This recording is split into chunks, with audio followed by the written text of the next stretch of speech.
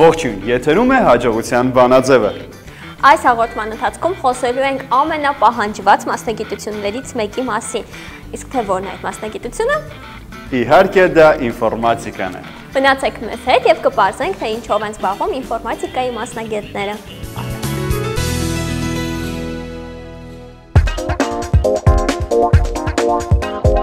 21-րդ դարի ամենաարագ զարգացող եւ պահանջված մասնագետները տեղեկատվական տեխնոլոգիաների ոլորտում աշխատող մասնագետներն են։ Իսկ տեղեկատվական տեխնոլոգիաների հիմքը ինֆորմատիկան է։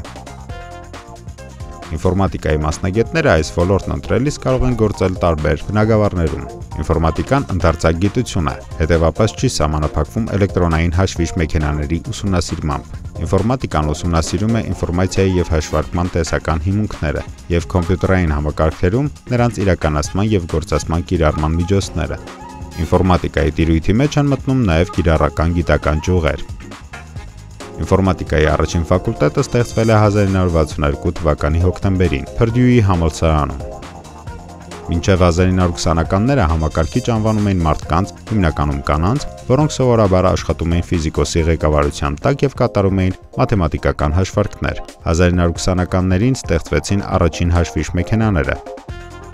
Ինֆորմատիկայի բաժիններից են տեսական ինֆորմատիկան, ալգորիթմեր եւ տվյալների կառուցվածքներ, համակարգչի կառուցվածքը, թվային եւ սիմվոլիկ հաշվարկումը, կիրառական ինֆորմատիկան եւ ծրագրավորումը։ Կիրառական ինֆորմատիկան էլ իր հերթին ունի ճյուղեր, դրանցից են օպերացիոն համակարգերը, համակարգչային ցանցերը, համակարգչային գրաֆիկան եւ տեսողությունը, տվյալների բազան, անվտանգությունը, արհեստական ինտելեկտը, կիբեռնետիկան եւ մարդ համակարգիչ փոխազդեցությունը։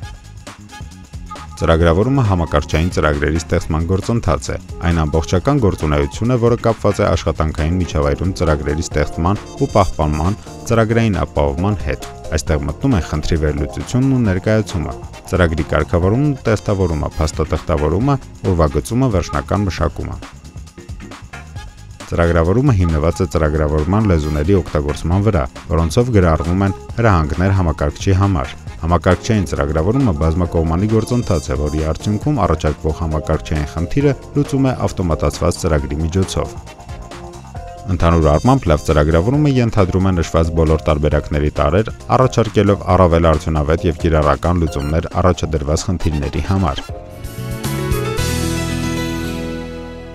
Հաջողության բանաձեն այսօր խոսել է ինֆորմատիկայի եւ դրա ճյուղերի մասին, իսկ թե ինչ է իրենց ներկայացնում այդ մասնագիտությունը, մեզ կօգնի բարձան մանկավարժական համալսարանի դասախոս, մանկավարժական գիտությունների տեխնացու Սամվել Ասատրյանը։ Բարև ձեզ։ Բարև ձեզ։ Մանկավարժական գիտությունների տեխնացու Սամվել Ասատրյանը 2009-ից 2014 թվականներին աշխատել է Գյումրիի Նալբանդյանի անվան պետական մանկավարժական ինստիտուտում, զբաղեցնելով տարբեր պաշտոններ։ 2015 թվականից դասավանդում է Հայկական պետական մանկավարժական համալսարանի մաթեմատիկայի, ֆիզիկայի եւ ինֆորմատիկայի ֆակուլտետում։ Բազմաթիվ հրապարակումների հեղինակ է։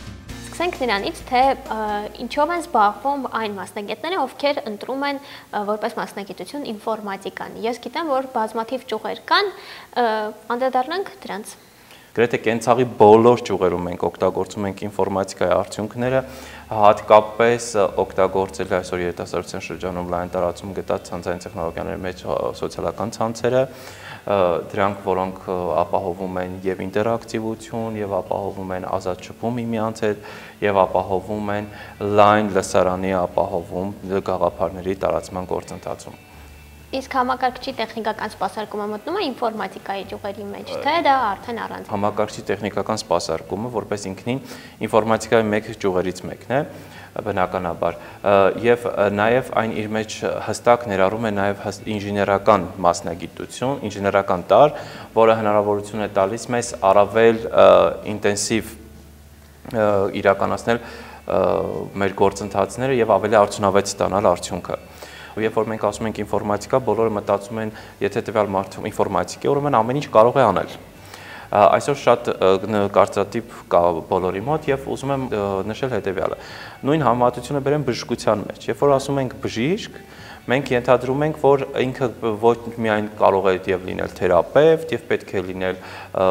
վիրաբույժ եւ կարող է լինել ատամնաբույժ եւ այլն։ Այդ նույնը կատարվում է այսօր ինֆորմատիկայի բնակավարում, երբ որ իմանում են ինֆորմատիկա, ինքը մտածում են, որ ինքը կարող է եւ լինել եւ շատ լավ ցանցային ադմինիստրատոր, եւ շատ լավ ծրագրավորող, եւ շատ լավ տեխնիկական սպասարկող, եւ շատ լավ մոնտաժիստ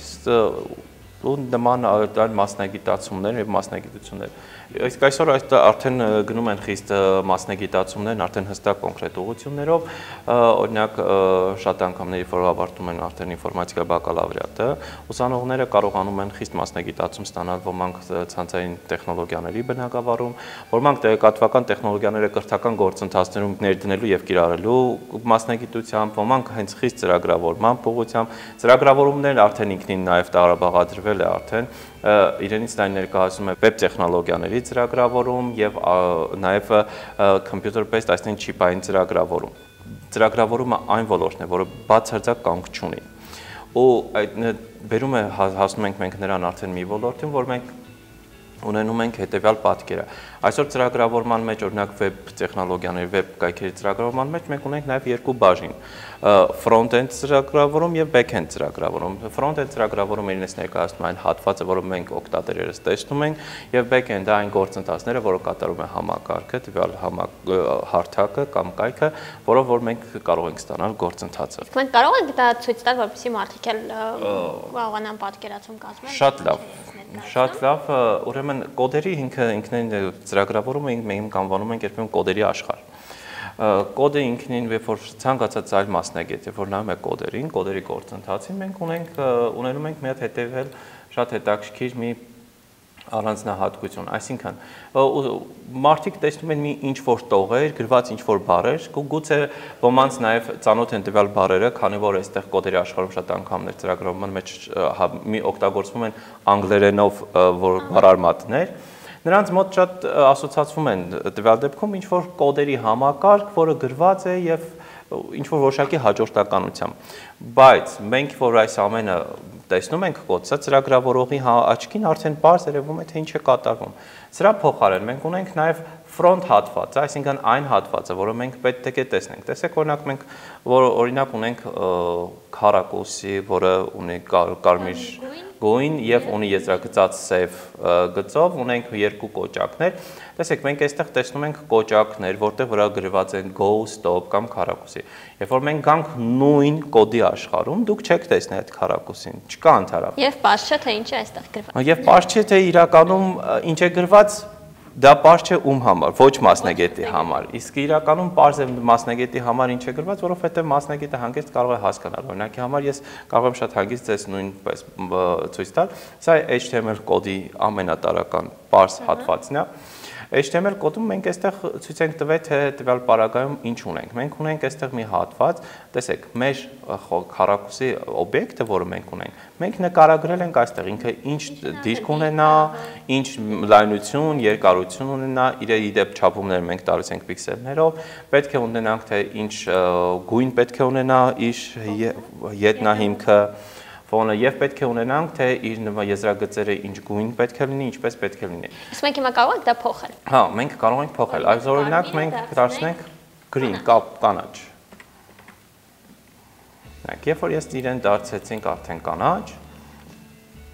մենք փորձենք իրեն Գույնը փոխվեց։ Եվ այսպես հրաշքներ են գործում փաստորեն ծրագրավորողները։ Հրաշքները գործում են մարդիկ, ծրագրավորողները պարզապես տալիս են գործիքակազմը, այն միջավայրը, որով որ կարող են մարդկանց երևակայությունը վերածել իրականության։ Այդ կարծում եմ, որ շատերի հետ պատահել է, որ պատահաբար այնտեղ համակարգչի աչ կլիկով կա, որ բացվում է, չէ՞, այդ կոդը։ Կարծում եմ, որ բոլորի հետ երբևէ պատահել է, որ պատահական այտվել են այդտեղ, հիմա բոլորը կիմանան, թե ինչ է իրենց ներկայացնում։ Շատ լավ։ Նայեք, այստեղ մենք մի հատ հետաքրքիր բան ունենք։ Մենք որ այստեղ կոդը մենք գրել ենք, արդեն գրում ենք, որ հասնում ենք։ Մենք ցույց ենք տալիս, թե տվյալ դեպքում մեր ունեցած օբյեկտը ինչ պետք է անի, ինչ պետք է չգնա։ Այստեղ ես ունեմ մեր հետաքրքիր ֆունկցիա, որ ես տվել եմ, որ դու սեղմելով go կոճակին, ինքը պետք է սկսի շարժվել դեպի աջ։ Հիմա փորձենք կատարել, երբ որ go-ն սեղմեցինք, ինքը սկսեց շարժվել դեպի աջ։ Stop-ի դեպքում արդեն կանգ առնում։ Հիմա տեսեք, երբ որ մենք ունենք ցանկացած վեբ կայք բացված, երբ որ աճ կոճակ ենք տալիս եւ 10 ենք view code կամ prasmatrix code։ Ինքը այստեղ արդեն տալիս է մեր կոդի ինչպես է իրենք ինքը ձևավորվել որպես փաստաթող։ Տեսեք, այս նույն հատվածը գրեթե նման է մեր ունեցած հիմնական կոդին, որով մենք հավաքել ենք տվյալ վեբ համակարգը։ Կոդերը բազմազան են, այսօր բազմաթիվ ու բազմատեսակ ծրագրավորման լեզուներ են օգտագործում, օգտել լեզուները տարբեր են այսօր, բայց հիմնական շուկայում գերակշռում են որոշակի լեզուներ, որոնք ունեն գերակա դիրք։ Ինչու, որովհետև այսօր մենք գիտենք, որ տեղեկատվական տեխնոլոգիաների աշխարհում շուկան թելադրում են կորպորացիաները։ Կորպորացիաներն էլ իրենք են տեղա իրենց թելադրում նաև թե ինչ հարմար աշխատանքային ծրագրային լեզվով են աշխատում։ Օրինակի համար ենթադրենք iOS համակարգը, որը ծանոթ լինի շատերին, այո, այս համակարգում հիմնականում օգտագործում են ծրագրավորման Objective-C լեզուն։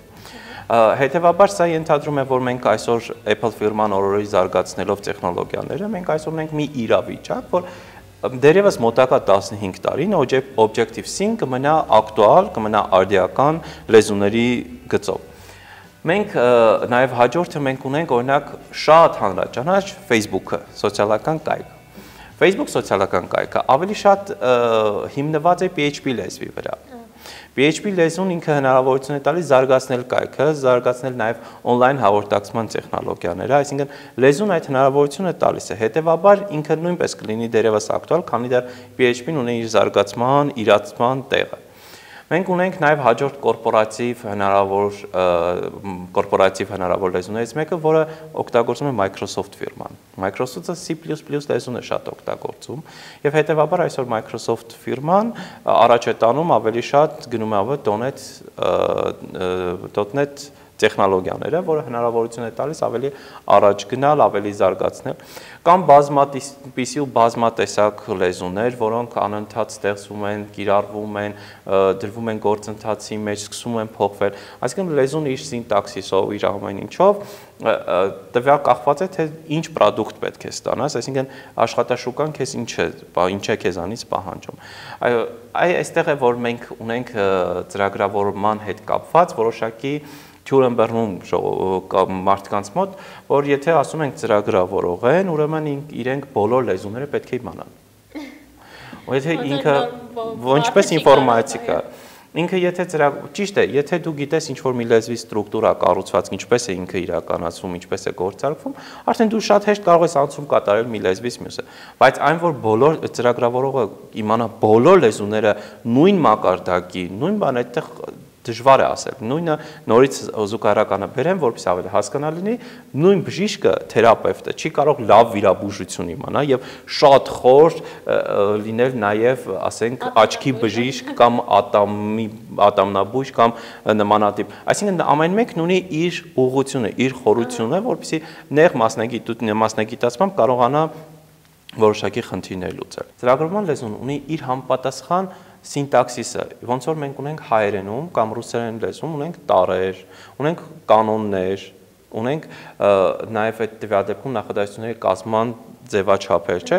Նույն ձևի ծրագրավորման լեզուն, նույն ձև ծրագրավորման լեզուն ունի նաև իր սինտաքսիսը, իր կանոնները, թե ինչպես կարող ենք մենք ստանալ տվյալ դեպքում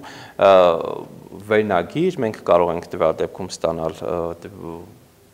տողը, կարող ենք ստանալ օբյեկտը եւ այլն։ Ես կառաջարկեի դուք ինքներդ փոխեիք եւ կարողանայինք ստանալ թե ինչ հաջողության բանաձևը ինչպես է մեր տվյալ դեպքում աշխատում մեր մոտ։ Այ փորձենք այստեղ ավելացնել իր համապատասխան հատվածը վերնագրային, վերնագրային հատվածից հետո խնդրեմ ինքներդ գրեք հաջողության բանաձևը։ Հիմա արդյունքը տեսնելու համար մենք փորձենք գալ արդեն մեր տվյալ դեպքում ֆրոնտ վիճակին եւ տեսնել թե Ունենք մենք հաջողության բանաձևը։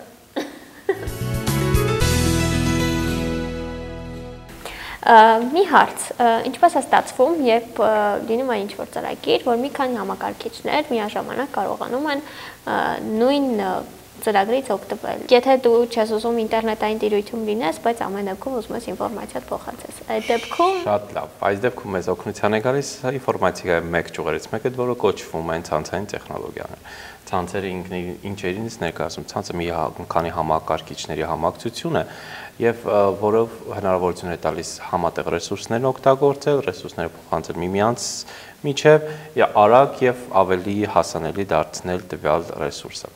Այստեղ մեզ օգնության են գալիս ցանցերի հասցեավորման համակարգերը։ Հասցեավորման համակարգը ինչ է ինձ ներկայացնում հասցեավորման համակարգը ներկայացնում է որոշակի թվերով, որոշակի հաջորդականությամբ թվերի միացություն, որը տվյալ դեպքում տարբերակում է թե տվյալ համակարգիչը որտեղ է տեղադրված տվյալ ցանցում։ Տվյալ ունենք ցանց, ունենք նաև ենթացանց, ենթացանցը արդեն անվանում դոմեյնային համակարգ, այսինքն գնում է համակարգը տվյալ դեպքում հրամանը գնում հասնում է այն համակարգչին, որի որին որ ուղղել ենք։ Օրինակ, տվյալ դեպքում դուք շատ եք լսել նաև IP հասցեավորում հասկացությունը, ինչեր ինձ ներկայացնում IP հասկացությունը։ IP հասկա IP-ն իրենց ներկայացնում է տվյալ դեպքում ցանցի տեղապաշտման հասցեն, թե ինչպես են տեղ մենք հասցեն տեղավորում տվյալ ցանցում։ IP-ավորման մեջ մենք ունենք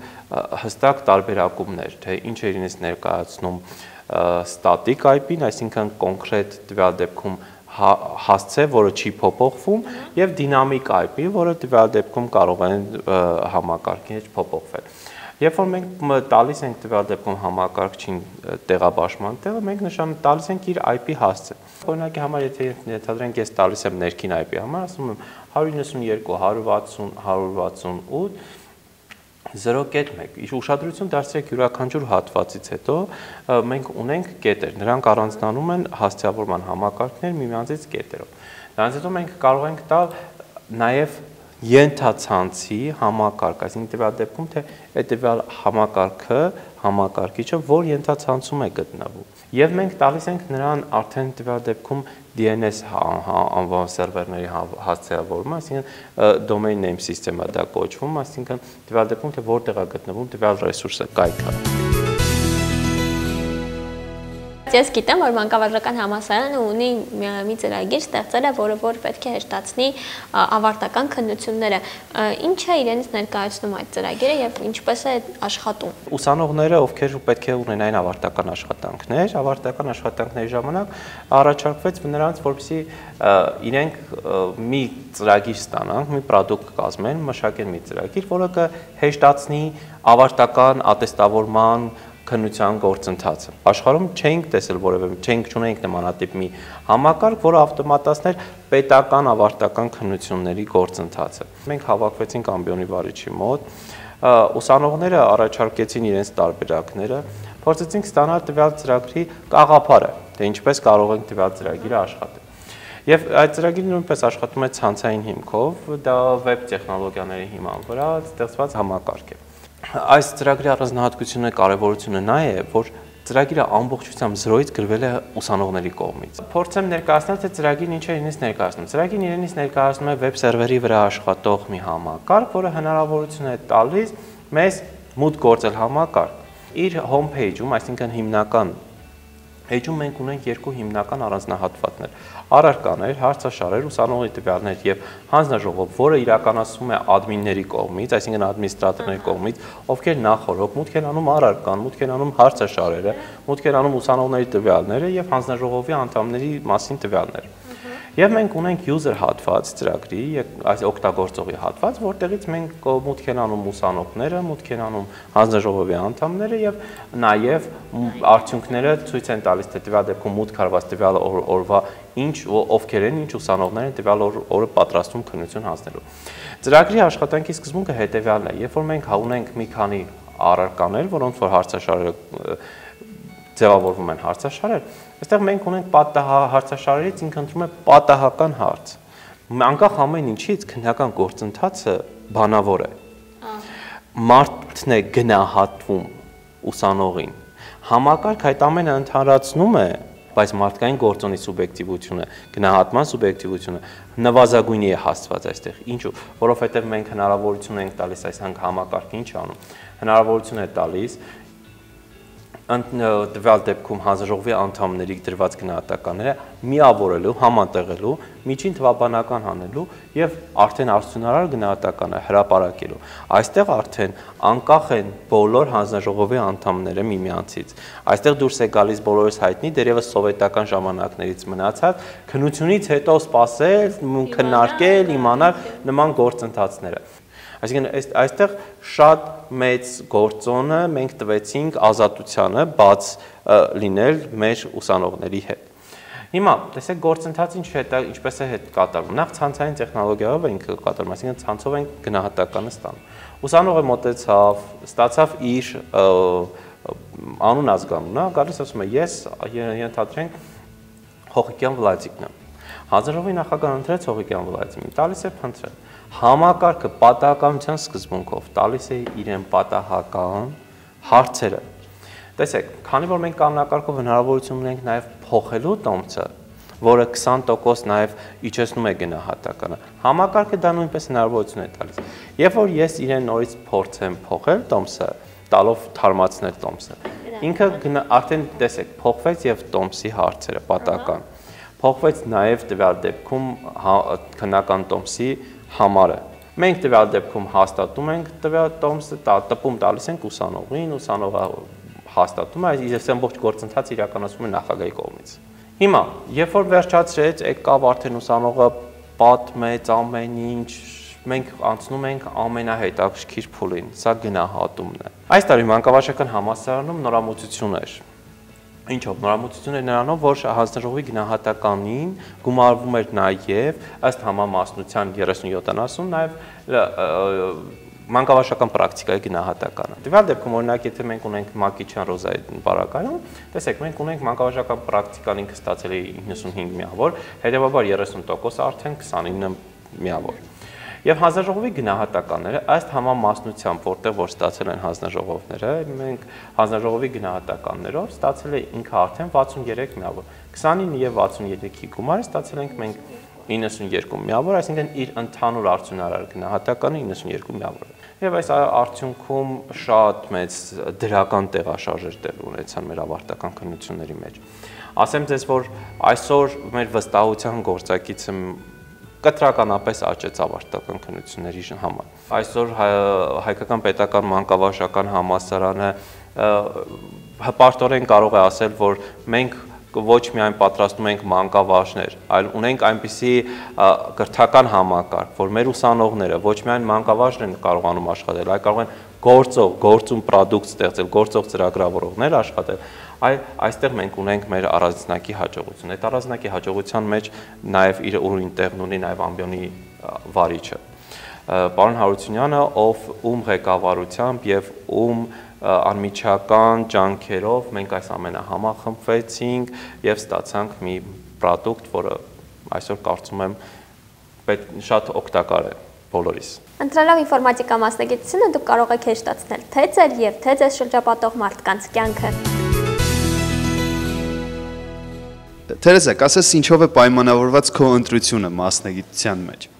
Փոքրուց սիրել եմ այդ մասնագիտությունը եւ սերը մանկուց առաջացել է մոտս։ Սկզբում ընտրել եմ մաթեմատիկա մասնագիտությունը եւ քանի որ մաթեմատիկան եւ ինֆորմատիկան սերտ կապ ունեն միմյանց հետ եւ քանի որ ինֆորմատիկան էլ արդի գիտություն է, որոշեցի շարունակեմ ինֆորմատիկա բաժնում մասնագիտությունը։ Համլետ, իսկ կասես ինչու է կայանում բարդությունը այս մասնագիտության, հա? Բարդությունը կայանում է նրանում, որ պահանջում է ավելի շատ աշխատասիրություն, ավելի շատ գործին պրոֆեսիոնալ մոտեցում, եւ պետք է անպայման սիրով այդ ամեն ինչը կատարես։ Քո կուրսային աշխատանքից եմ ուզում խոսել, հա, ծրագիր եք գրել, կներկայացնես այդ ամենը մեզ։ Այո, իմ կուրսային աշխատանքս նվիրված էր պետական ավարտական քննությունների ավտոմատացված համակարգի նախագծումը։ Նախագծել ենք ընկերներիս հետ միասին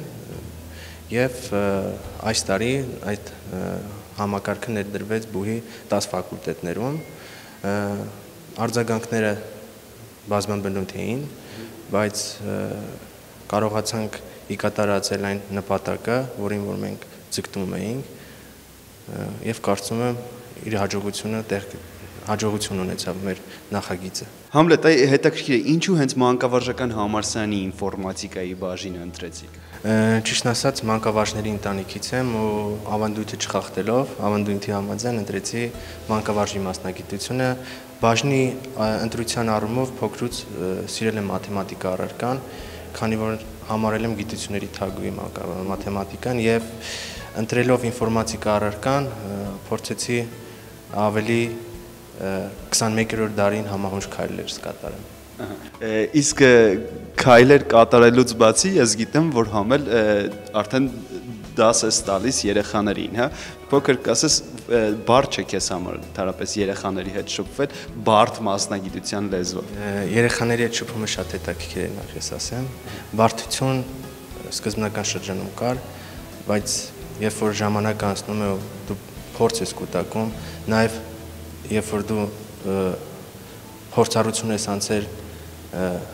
տարածաշրջանի լավագույն ուղերից մեկում, կարողանում ես այդ դժվարությունները հաղթահարել եւ քո նպատակին կարողանում ես հեշտությամբ հասնել։ Ընտրելով ինֆորմատիկայի մասնագիտությունը դու կարող ես ձեր հաջողության բանաձևը գրել ինքներդ։ Յուրաքանչյուրս ունենք հաջողության մեր բանաձևը, բայց յուրաքանչյուր բանաձևի հիմքում ընկած է կամքն ու աշխատասիրությունը։ Հետևեք մեզ Facebook-ում եւ դասարան AM կայքում։ Կհանդիպենք հաջորդ շաբաթ։